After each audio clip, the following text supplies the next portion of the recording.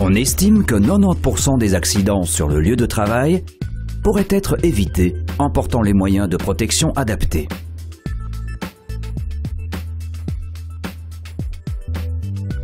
Malheureusement, il n'est pas toujours évident de savoir quels sont les équipements de protection individuelle les plus appropriés, ce qui conduit à de nombreux accidents.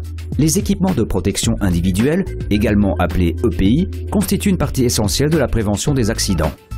On peut réduire considérablement le risque de blessures graves en comprenant bien les principes des EPI. Personne ne peut se permettre de négliger l'importance des EPI. Votre vie en dépend types de pays tels que protection de la tête, protection des pieds, protection des mains et des bras, protection des yeux et du visage, protection auditive, protection corporelle, protection respiratoire et protection contre les chutes.